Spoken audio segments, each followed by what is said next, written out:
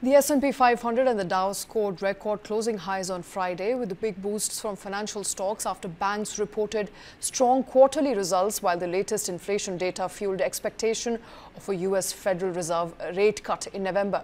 This report has more.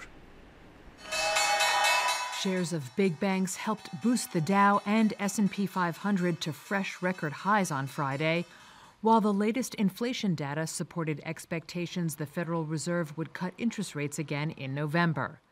The Dow climbed about 1%, the S&P added 6 tenths of a percent, and the Nasdaq rose a third of a percent.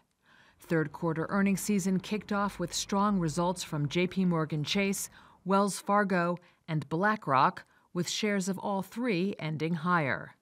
Meanwhile, data from the Labor Department showed producer prices were unchanged in September compared to the slight rise that was forecast by economists polled by Reuters.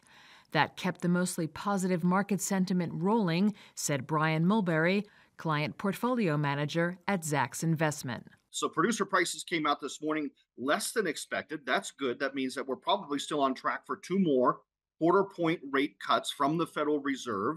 And the market likes that. That's what they really want to see. In particular, that's good for Dow stocks. What we've seen over the last 90 days in Q3 is a real pivot to value. We've seen some of the higher flying growth names come off of their highs, and that money coming back into a little bit more reasonably valued large cap value type of stocks. Other notable stock moves included Tesla, which slumped 9% after the EV maker unveiled its long awaited robotaxi. CEO Elon Musk offered few details about how Tesla could ramp up production or overcome potential regulatory hurdles.